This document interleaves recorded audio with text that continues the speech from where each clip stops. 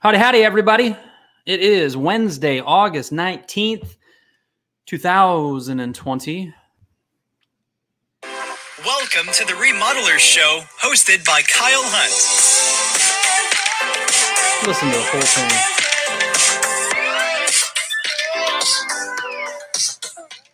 There we go. Little int- little intro music. I just played that and tested it, and the dog started barking because I'm working from home. So I just sent her outside, but we're managing.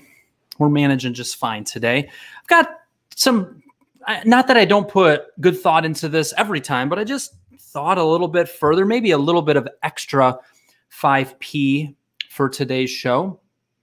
And I'm looking forward to it. Hope you all are doing well. We're going to start with the old one word open. Share with me, if you would, kind of your one word open. What's one word that's kind of on your mind today? And I would love to get your questions today. All right. Excellent. So let's do a little from a coaching call. From a coaching call. This is from earlier today. And you may be thinking or experiencing these things yourself right now. And uh, this client of mine is not the only person that I've heard this from. And what he said was, man, lead time, lead time on materials have been going up. He was given some examples of cabinetry that used to be four or five weeks, taken seven or eight weeks. Flooring lead times have doubled. And he wasn't even talking yet about the price side of things, how things have been escalating on that front. Um, with with everything that's that's going on, the ordering of materials, the lead time of materials, um, how we sign a fixed price contract and then have material prices go up. There are some challenges there. There are some concerns there. Our ability to schedule clearly and say, you know, we are going to be able to start your project on this date and time is a little bit more predicated and challenged by our material lead time. So, a few things come to mind related to that. One, what is in your contract related to price escalation? Do we have something written in there to protect yourself if things um, increase a certain percentage? That's one thought that you need to kind of consider and think about. Um, the biggest thing to me comes down to communication. Oh, so often there are so many parts of the remodeling process that either go well or don't go well. And it ties back into communicating in an excellent way with all the parties involved. That's just a good reminder right there. Um, but in particular, when it comes to the lead time on things, when it comes to perhaps in, increased pricing based on materials. I, have been seeing some posts on different boards related to just flat out two by four pricing. Somebody posted the other day about, um, you know, the the cost that they had written down in for May and then in June and then July and then August and how much it has increased. So we need to stay on top of that. We need to be probably in communication more than ever with some of our key lumber suppliers or lumber yards or wherever you get your materials. We need to protect ourselves a bit by updating our contract language and we need to communicate with our clients. We don't want them to be surprised. We don't want them to hear you say, you know, we need to hold off on starting your project for another two weeks because we're having some issues with the delivery of materials and that be the first time they hear about it. They frankly they shouldn't be surprised by that because you've already prepped them, you've already had the advanced conversation that this is something that could happen. So it's something that came up during a, a, call this morning, and it just reminds me of the importance to communicate, communicate, communicate. So hopefully that's a good reminder for you as you're navigating these treacherous waters, choppy waters that we're going through right now. Okay, next one up. Let's see here. We got some. Uh, we got some comments. We got some comments, people. Um, we got some likes. Hey, Kevin, how you doing? Um, all right, next one up is from around the interweb. Around the interweb. Oh, if you look closely, you can see my children in the background. I've had some Wi-Fi issues because they've been on devices this morning, and I basically said, "You guys are going to disappear between 12 and 12:30. Behave yourselves, but get outside and do not come inside." Oh, and what do we hear? We hear a door opening. Oh, that's just one of the children bringing the dog in because the dog must be annoying their volleyball game that they have going my uh, I'll, I'll actually let me forward let me skip skip forward to something else I was going to say because I'm talking about it right now. slow down. So this morning, I've got I've had a busy day, I've got a busy afternoon, and then I've got this thing called the Remodeler Show from 12 to 12:30. And I'm trying to manage three of our four children today, plus the dog, plus get lunch going. My wife is um, this week needing to do some teacher training, getting ready to go back to school, so she's doing that. So I'm home, um, kind of holding down the fort, plus keeping a business going. And I think I was, plus I have a rib injury, plus I'm hurt on top of that. And I think I was feeling just like a, ugh, too much, too much. Um, but it just reminded me to slow down. Slow down. It's going to be fine. Take one thing at a time. Do the best you can. Things might not go perfectly, and that's okay. Um, and when I started to slow down, what was kind of interesting is I spent just a, a little 20 minute break in between meetings and just spent some time thinking, okay, what's the most valuable thing for me to cover on the show today? What would truly actually help people? And that helped me craft what I was going to write in there. Um, the other thing that came to mind is when you slow down a little bit and you evaluate your workload and your day, what's going well, what's not, and you look at that in a broader sense, if you have been too busy, haven't been able to catch up, and it's just like that for weeks and weeks and months and months and months, you got to look at that and say, what needs to change in order for me to feel a little bit better in control? When I started thinking about that for my business, something that I absolutely love doing is creating content to get creative with it. There's so many little videos, clever things, ways of teaching content, ways of promoting my products that are that are float around, but I don't have a ton of time to do that. And I was reminded as I slowed down, hmm, I got to keep looking at my schedule and figuring out how to carve out and add more time add more time so that I can do more of that because I just love doing it and it's very important for my overall business. So just this reminder, I don't know exactly what it means for each of you guys, but this thought of slow down, think a little bit, don't beat yourself up uh, for you know for not having everything all figured out, um, and just take it one thing at a time. Enjoy the work that is in front of you at that moment, and plan your day. A properly planned day also helps keep stress level down. So there's that. Now going back to uh, uh, around the interweb. Oh, the people are quiet today on the Remodeler Show. I see. I see that you guys are live there. Oh, here we got some comments going on. All right. Um, love this seven minutes and definitely needed that reminder. Ooh, excellent, excellent. Um, Joanne, if you go to um, and Kevin and Joanne. Ooh, okay, now I'm getting some feedback. You guys are giving me some energy. Um, one, if you go to streamyard.com slash Facebook, it'll tell you the steps that you just click a few buttons so that I can see your name uh, pop up in the StreamYard app. So if you could do that, streamyard.com slash Facebook. Um, but yeah, we need that reminder. We need to slow down. Um, and then Kevin was pretty much saying the same thing. Good info. I needed to hear that. Yeah. Yeah oh, today's show was was totally worth it. Just to the fact that hopefully there's more people that didn't comment that also um, are just helped by that reminder. What else would I add to it? I feel like I covered it pretty in depth, but um, man, we just let our emotions get the best of us and we turn a bad half hour into a bad day. Or because we're feeling a little bit overwhelmed, it just eats up, eats us up, spits us out we got to fight against that. We got to keep proper perspective on things. We have to slow down. We have to admit if we're not able to get something done.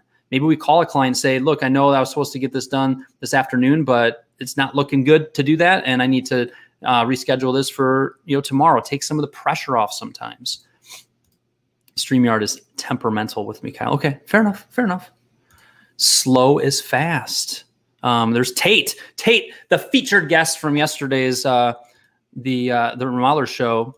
Yeah, slow is fast. Isn't that interesting? You know, we, we talk about multitasking so often, and and I would say that I uh, I love the idea of multitasking. There is few things. There are several things, but there are a few things that bring me more joy than coming down early before everybody gets up, having a. This is going to sound weird. Having a load of laundry going, having the dishwasher going, and getting some work done did you hear that? That's three things happening at the same time. Woo! I literally, I love that. I'm like, man, I'm uber productive. And sometimes our uber productiveness will make us frantic and chasing around and going and going crazy. What Tate said there is very true. Sometimes slowing down helps you go faster. Right? Move quickly, don't rush. Some good, some good stuff there, my friends. All right, excellent. Cool. Um, so let me get into this uh, from a coaching call. If I can go back to that.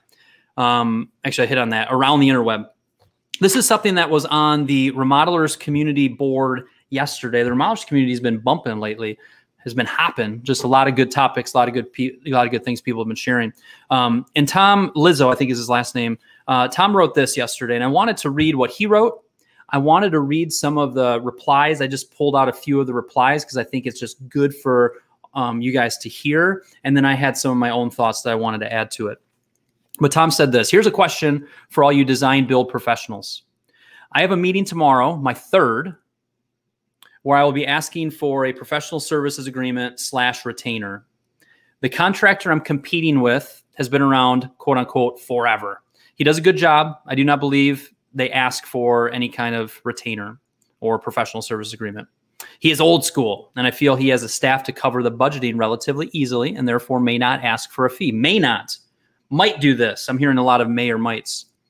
The architectural plans are done, so it's about being professional, the report, and the detailed pricing. Since I cannot see myself getting to a tight budget, meaning a detailed budget, row Lucy's barking. Lucy, stop it. We're trying to conduct a professional show over here. A tight budget without bringing some of my trade partners in I feel I must stick to my system, which is to get some skin in the game. Tom's system is to charge for the service that he provides, which is professional budgeting, detailed budgeting. And his thought here is Are there any words of wisdom should they, the po- customer, potentially push back on my request because the other guy doesn't require the same?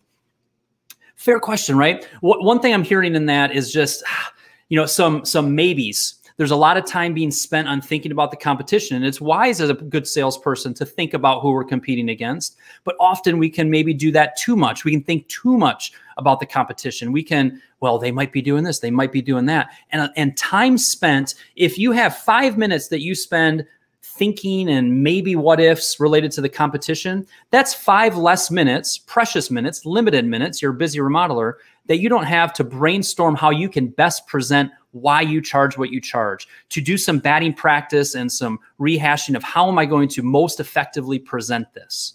And that's a real thing. We exchange time that's not as valuable in exchange for not spending it on time that's more valuable. So even that example, I think, is a good reminder for us. Plus, this idea that, all right, Lucy, Lucy the dog is demanding being pet being petted. So I'm going to manage comments. I'm going to be reading this. I'm going to be doing a show, and I'm petting the dog. Didn't we just get done talking about how that we shouldn't multitask? We should focus on one thing. I feel like I'm excelling at it right now. Okay. So here's some feedback from the people to um, Tom's situation and his questions. Bob Peterson said, ask them if they're okay with an estimate, quote unquote, and change orders, or do they prefer an exact cost? Point blank question, right? The more planning that goes in up front, the less surprises, the less change orders. And when you ask that question, it it it starts to educate them on why you do what you do. Um, Sean said, believe in your value and process and don't apologize. There is a good percentage of our success in selling that is tied back in with what he's hitting at there. One, having a very clear, thought out, proven process that we follow. And two, the confidence to really sell it confidence is one of these intangible things that can make a huge difference in turning more of your prospects into paying projects. Confidence. So what Sean is saying there is, Tom, you've got this. Believe in your in the value of your process and don't apologize. Some good advice. Um, another Sean said, your process is your process for a reason. That's good. Your process is a is your process for a reason. There's a reason that Tom charges for this and there's right there's a ton of reasons um, that we do this more design build or we charge for the service that he's providing. Do not deviate unless you are 100% sure the benefits outweigh the risk. And even then, it's probably not wise to deviate. If they do bring up an objection, Just let them know it is how you operate so you can best serve all of your clients and your company slash team. Don't be afraid to remain completely silent at that point and wait for them to respond. Oh, that pregnant pause after you make a statement. Sometimes we steamroll right through that and we keep talking where there's great power in that pause. Excellent. Um, Aaron said, a tight, um, this is him kind of giving uh, Tom some words to use. This is good stuff, right? These are good reminders. This is all related to how do we charge for project design and development? How do we protect our time? How do we make sure that we are we got some skin in the game on the other side? How do we build value so that the homeowner actually realizes the value in this and and says, well, that makes a lot of sense, right? Also tied in with this whole topic is, you know, how do we how do we deal with the competition and the head trash that we have that says i can't charge for this if other people aren't charging you know or is my process fair? You know should i be doing this? Lucy you gotta go dude. You're distracting me. Go. Adios. Adios amiga. Okay all right um, aaron said a tight and accurate budget will involve at least several days of labor and involvement of several of my trade partners i believe that work results the results of the actual project are as good as the work, the prep work that goes into them. And that free work up front in the planning is never as considered or detailed or solid as paid work. I want to make sure that we begin well, and that means having the most accurate, detailed budget and specifications possible. Sell it, explain it to them. When you explain it like that, your ideal client will kind of, well, why aren't they doing that? oh, we're going to have a lot of change orders. We're going to have a lot of allowances. We're going to have a lot of unknowns. I can see how this project's going to turn into something that the schedule, you know, goes on and on, or that there's all these changes that come up or last minute decisions. And man, he talked to me the other day about how ordering materials early is very important right now because of delays, et cetera. So some really good thoughts there. Um, again, if you go to remodelerscommunity.com, if you're not part of Remodelers Community, if you're listening to this recording via the podcast a couple weeks later, um, check out remodelerscommunity.com. Um, this is a post. This post was from um, August the 18th. Ooh, Bailey said, move quickly, don't rush. I need this reminder constantly. That's because your boss is always moving too quickly and rushing. That's me, by the way. Um, two more things on here. The lesson here, Mike Medford said, the lesson here is to ignore the competition. Learn to be the authority and to be the competition, and you to be the competition.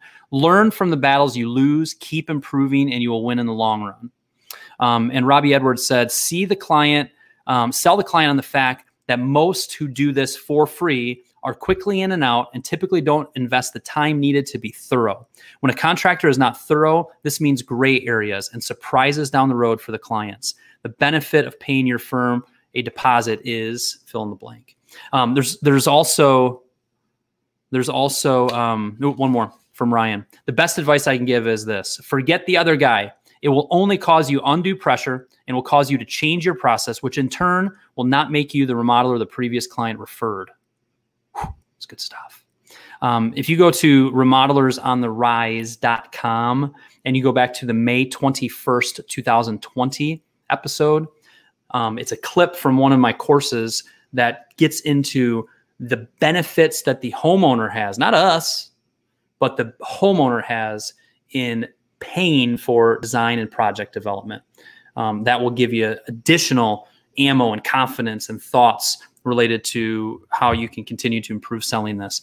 Um, the other thing you see that on the bottom there, it says course offering in the fall, remodelersmasterclass.com. This is the topic we're going deep into um, in October. So consider signing up for that. All right. Good. Excellent. Wonderful.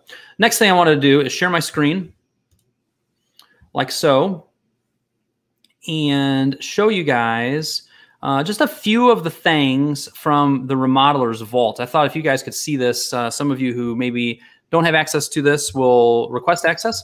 Um, and also, I just wanted to, I just pulled out a few examples that might be helpful for you guys to see and that you might consider implementing. So this, Lucy, Lucy, come here. If you have to have me pet you in order to survive this next nine minutes, we will do that. Okay. Um, if you go to remodelersvault.com, it is a free thing that we've set up. A lot of people have remodelers have submitted different uh, different items that you can uh, see and download and start customizing and use. Just different templates, tools, resources. These are the different categories they're under. I pulled out four. This first one is from Rhonda. Thank you, Rhonda. I think a couple of these I'm going to show is from Rhonda. She stepped up and submitted a bunch of stuff for the old vault. Um, this one is a simple one. It's this idea of planning your day. And the way Rhonda has this, puts date on there, her daily big three, most important tasks slash greatest impact. Spending a little bit of time planning that, identifying that. The other way that I put it sometimes is, is identify your frog, eat your frog, the most important thing that you're most likely to put off identify and put down and write down those daily big three. When you write something down, it increases the chance of it actually happening. When you keep it up in your head, it lowers the chance of it actually happening. Scientific fact. I'm sure there's been studies on it. So it's not scientific because if it was scientific, there'd be studies on it for sure.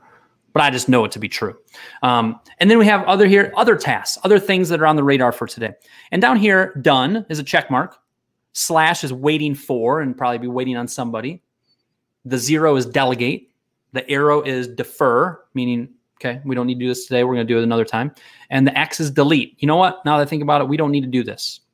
Um, so that's just a simple little tool. That's in the old vault. Um, this one is one of many that Paul McManus had submitted called um, different, just different checklists. The one I pulled here is just site prep. He's got this list of different things. Now they um, integrated into their Buildertrend. Has he used Buildertrend or CoConstruct? I can never remember. Um, his Buildertrend, where he's got this checklist in there. But this thought that whether it is the drywall stage, the demo stage, the trim stage, the site prep stage, the job closeout stage. Yes, I know I didn't do that in order. I may not be a remodeler, but I could put that in order if, if I tried again. Um, so don't make fun of me. But the site prep checklist, oh man, when we don't have a checklist, running a successful remodeling business is about doing a lot of little things right. Having a, an exceptional experience for your remodeling client has to do with a lot of little things right and executing those things. And when you are relying on your team to remember everything, when you have all of the things up here in your head and you're trying to remember things, it is so much harder than if you have a checklist. Even if you are by yourself, and Kyle, I'm a one man show. I'm doing the work, I'm doing the office, etc. Even if that's the case, create a checklist. I remember doing that in my business when it was just me. And I'm like, this is kind of stupid. Why would I make a checklist when I bring on a new client? I just doing it myself. But wouldn't you know it, it required a lot less brain power and I was more consistent in making sure all the little things I want to do got done. So in the vault, there's all these different checklists. When people saw these, they, they really liked it. You can grab these, make it your own, put it in a format that works for you and start using it. That That's um, in the remodeler's vault. I think it's under da, da, da, other uh, field production in that category. Um, another one here, certificate of completion. You know, this idea of we want to finish the project strong. And here's a little certificate of completion that you know everybody signs off on. That we go through and we check off all the different things that need to happen. Um, the customer signs off on it. What a strong way to finish a project. So that's in the in the vault. And then another one is this little spreadsheet here. Um, this is one that I tossed in there, and it's it's simple and it's really focused on what is our backlog of work. What does it actually look like? And the way I like to approach that is this month, next month, the following month, and not any further than that. As far as especially when we deal with the specifics, this month, next month, the following month. So if my goal um, of for sales of produced sales each month was let's say $80,000. When I line up the jobs that I have sold, not that I think I'm going to sell, but that I have sold, and I put the total sale next to it. And then I think through the schedule and I say, all right, on that hunt job, that $50,000 project, how much of that revenue am I expecting in November? How much in December? How much in January? And I put some thought into it. It doesn't have to be perfect. It never will be perfect but I put that in there and I plug in those numbers for all the jobs I have sold. Again, not that I think I have sold, but that I actually have sold. And when you do that, if my goal was $80,000 a month that I need to sell and, and produce in this case, and this is showing me at 75,000, I know that I'm a little below. I'm not going to freak out about it, but it's good to be aware of that. I'm actually ahead of the game in December. And when I look into January, you know, I see, okay, I need to be around 80. I'm at 30. Now, that's not going to panic me because I'm still two months out, but it is going to light a little bit of fire under my butt to get projects through the design and development and get them to signed status. This is just a tool that really helps you kind of tie in a little bit of your backlog, a little bit of your overall sales goal. Again, lights a fire under you a little bit, helps you look at your overall schedule. Um, and it's just a simple tool that works. So all of these, I just wanted to pull out a few examples. One, because I thought it would be helpful um, just to see some of these examples and to consider using them, and also just to shine some light on the value and the different items that are in this vault uh, again, remodelersvault.com. Um, if you haven't signed up yet, it's free of charge. You're welcome. and thank you to everybody who submitted stuff. We got a lot of good stuff in there. Um, and also, you'll see on there where you can uh, submit new stuff. We'd love to continue to add to it. All right, so that is that is that. Let's see what else we got. Um, that we got on here. Well, one thing that we're going to start doing, this is fun. Little question of the day. This means when you hear me say, here's the question of the day, you get your fingers ready and you type an answer to the question of the day. That's how this works. Simple, fun, and adds just another little bit to the old uh, to the old show. Question of the day. What year did you start your business and why did you start it? What year did you start your business and why did you start it? Inquiring minds want to know. Does Lucy have something to say to the people? I don't know. She's just being annoying. There she is. There's, there she is in all of her schnauzer glory. Hi, guys. I'm needy. I couldn't possibly lay over there. I need to jump up on dad's lap. Yes. I think what she's saying is, Dad, when mom's home, she gives me more attention. Why are you not giving me more attention? That's what she's saying.